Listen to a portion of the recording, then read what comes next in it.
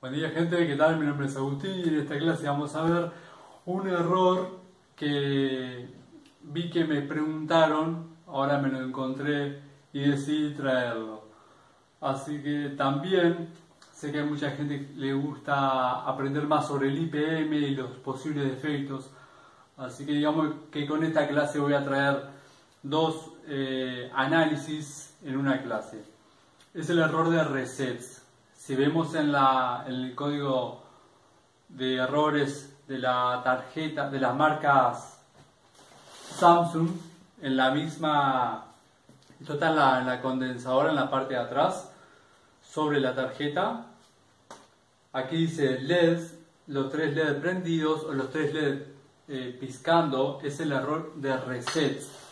El error de reset es un error que sucede con bastante frecuencia en la marca Samsung, y básicamente ya sé dónde es, se repite bastante este error, así que vamos a hacer de todas formas el paso a paso de cómo identificar y las mediciones que debemos hacer para identificar si ese es el problema o no.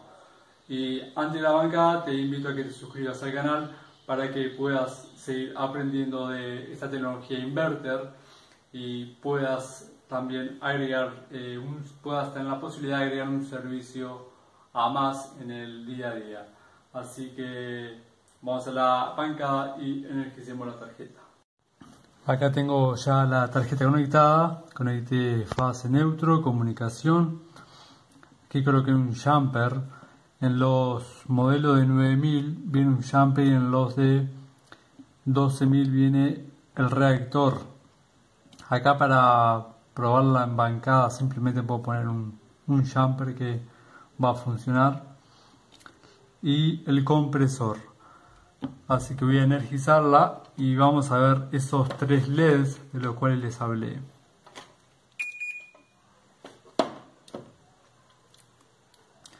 Y ahí vemos los tres LEDs piscando. Y arranca el, el ventiladorcito de la evaporadora y queda en esa. Incluso si venimos en la escala de tensión continua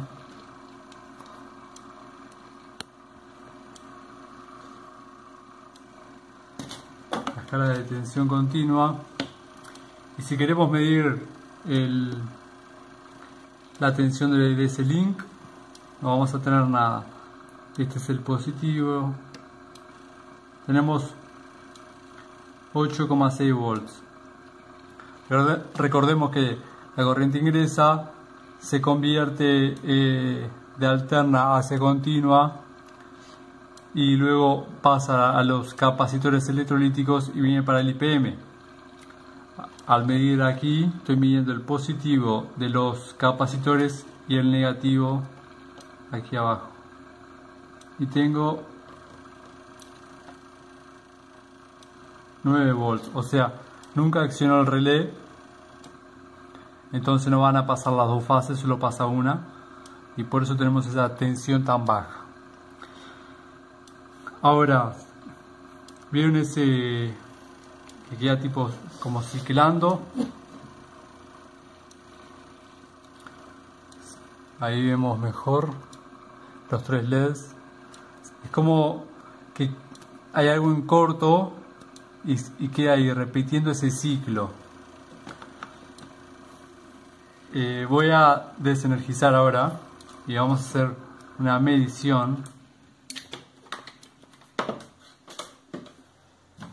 voy a descargar los capacitores aunque no hay casi ni tensión pero es un lindo hábito a crear un hábito seguro. Así que retiramos esto para trabajar más cómodo.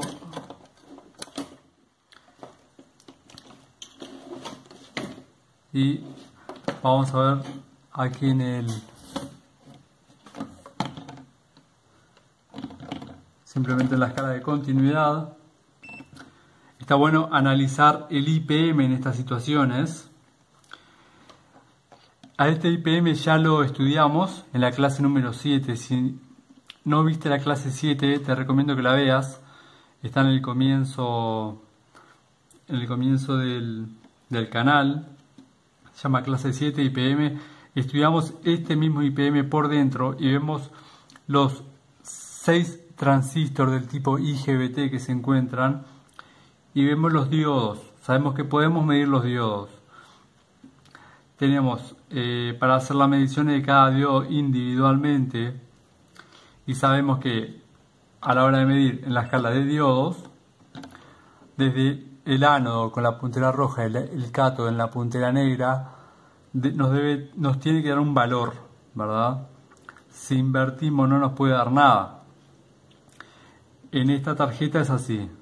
En la mayoría es así. Con el, podemos hacer esa medición y vamos a tener ese resultado con el IPM en la tarjeta. Hay algunos modelos, me acuerdo del modelo de la Consul de la 18, de la 12 y 18000, que si vos los medís en la tarjeta de forma reversa te da un valor y no significa que esté mal. Va ese consejito ahí. Si estás con una consul de 12.000, 18.000 y medís de forma reversa los diodos del IPM y te dan un valor, está bien. Si lo retirás y lo medís de forma reversa, no te va, te va a dar abierto, como tiene que darte. Un diodo de forma reversamente polarizado no puede conducir. Así que va ese detallecito. Ahora, vamos a medir aquí los diodos de los, de los transistores que están asociados a los transistores IGBT. Si vamos a colocar la puntera roja en, en estos, cualquiera de estos tres puede ser en realidad, son los tres pertenecen a los transistores bajos. Así que si coloco aquí, coloco, ahí me da un valor de 0,409. Ahí estoy midiendo uno de los diodos esta medición también ya la hicimos en la clase 7. Si no conoces esta medición, eh, te aconsejo que veas esa, clase. Ahí medí una de las salidas, en otras palabras, una de las salidas de, que van para el compresor, la salida W. Ahora voy a medir la salida eh, B, que es lo mismo que mida este de aquí. Ahora vamos a medir aquí y mida 3, tengo un valor también, ¿verdad? Que es lo mismo que mide aquí. Miren este detalle y quédense con este concepto para más adelante. Los transistores que yo tengo que medir aquí tienen que ser de valores iguales.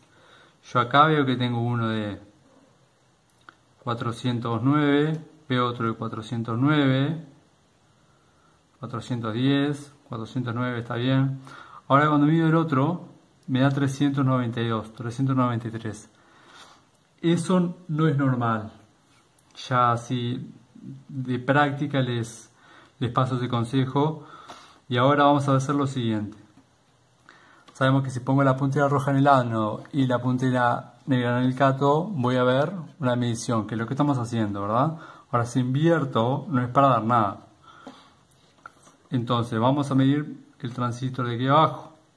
El que hoy me había dado 409. Eh,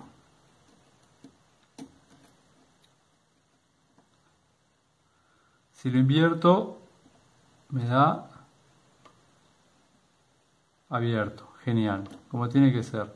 Ahora, lo voy a medir de nuevo al, al de la salida B, que me dio también 409, 410. Genial. Si invierto, no me puede dar nada. Ahora voy a medir el de la salida U, que me dio 390, 0393, 393 y si lo invierto no me puede dar nada. Y veo que tengo un valor. Ese valor está incorrecto. Entonces eso indica que hay una fuga de ese diodo que estamos viendo, que estamos midiendo ahí. Ese diodo internamente está en fuga. Bueno, el, este IPM tiene que ser reemplazado, así que voy a retirar este IPM. Repito de nuevo, si no conoces esta medición es muy simple, es simplemente buscar el datasheet del, del IPM y vas a ver esos diodos que están asociados al IGBT. Así que voy a retirar, aquí vemos las salidas, aquí tenemos la, entrada del, del IPM, estos pinos más finos. Y aquí tenemos la salida, que son estos pinos de acá. Estos pinos mayores. Tienen un mayor tamaño porque la corriente que va a circular por ellos es mayor. No es nada más y nada menos la alimentación del compresor. Aquí está el conectorcito que conecta el compresor. Así que voy a retirar, voy a colocar un IPM nuevo. Recuerden que debe ser el mismo IPM. Debajo del IPM está el, eh, van a ver la nomenclatura, la marca que es, el modelo que es y deben de cambiarlo por uno igual. Así que yo tengo de estos IPM de Samsung. Trabajo mucho con Samsung, así que tengo por ahí. Voy a colocar uno nuevo y vamos a ver qué es lo que sucede. Ya retiré el IPM, coloqué uno nuevo, así que vamos a medir aquí y vamos a ver qué es lo que encontramos en las mediciones. Vamos a medir el nuevo primero. ¿Se acuerdan que de aquí, que vendría a ser eh, donde viene este punto puede considerarse el mismo que el negativo de los electrolíticos, así que de aquí para aquí voy a tener un valor que es a la salida de unos de W, luego aquí que es la salida de B voy a tener otro y U también, ¿verdad? Que hoy digo 0410, 0410 y 0393. Veamos ahora con el nuevo. Tengo 0392, 0392 y 0392. Tenemos los tres mismos valores, así que eso me indica, ya me está indicando que este de que el IPM al menos en lo que respecta a la medición de diodos parece estar ok. Ahora veamos el que retiré. Vamos a ver aquí. Mido la salida de W. Tengo 410. La salida de U o B me da queda oscilando 410 y la salida del, de U abierto, completamente abierto invierto la salida de W no me da nada, está bien, y tampoco, y U tampoco. Así que probablemente hoy no estaba midiendo ni siquiera el diodo, estaba midiendo algo más internamente. Otra vez el propio transistor, otra vez, o tal vez era la medición eh, asociada del, de los otros diodos.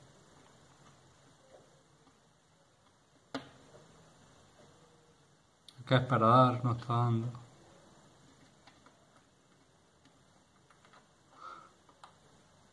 Así que este, ahí que me di un valor mayor en realidad es la suma de, de dos de los diodos. Si miran dentro del datasheet van a ver que este pin que es el más B, el positivo de los electrolíticos, este de aquí, en realidad estoy midiendo dos diodos. Por eso que nos da un valor diferente a las salidas. Pero mantengan ese concepto en mente. las tres salidas V y W tienen que ser iguales. Si una está alterada, eso ya indica que posiblemente hay una falla. Así que vamos a energizar y veamos.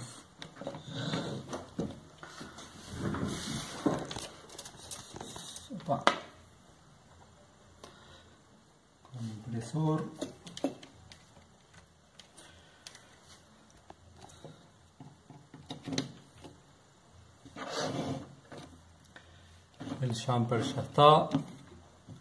Ahora vamos a conectar comunicación, línea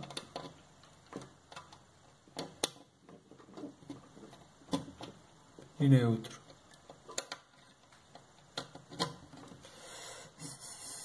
Ok. Bueno, siempre chequear, una vez conectas todo, antes de energizar, volver a chequear, limpiar por debajo de la mesa para evitar algún pequeño accidente. Así que energizamos. Escuché accionar el relé.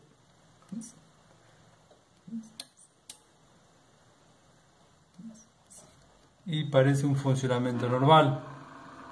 Arrancó el ventiladorcito.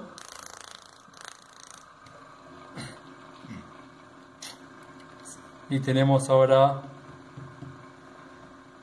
el análisis normal de la tarjeta, escuché accionar los relés y está arrancando el compresor.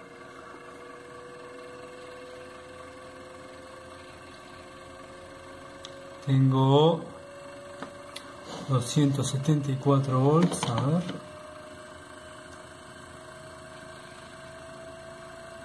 271 una tensión bastante baja.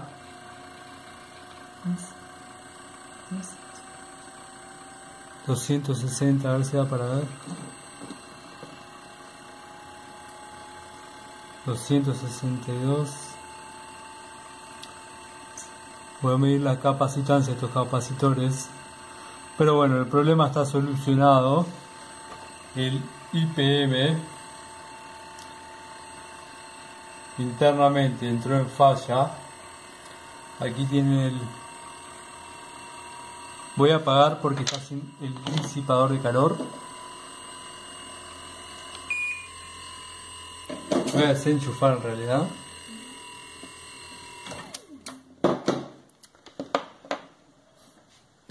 vamos a descargar los capacitores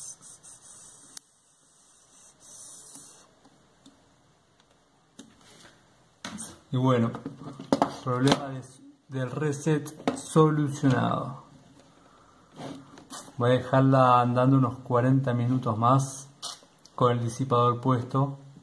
Ya está bastante caliente el IPM, bastante caliente. Y, y voy a ver la capacitancia de los capacitores en el caso de que estén un poco bajos, cambiarlos. Pero bueno, el problema de reset está solucionado. Y al final sí, el error una vez más estaba en el IPM. Si no sabes cómo funciona el IPM, te invito a que veas la clase, es la clase 6 en realidad, la clase 7 el microcontrolador y los códigos de errores. Está bueno también si quieres aprender un poco más, conocer, tener una perspectiva general de la tarjeta y su funcionamiento, te invito a que veas la clase 7. En la clase 6 vemos este mismo IPM y las mediciones que podemos hacer. Y bueno, aquí ya vimos en vivo una situación real de una falla y un código de error para, y también cómo poder solucionarlo.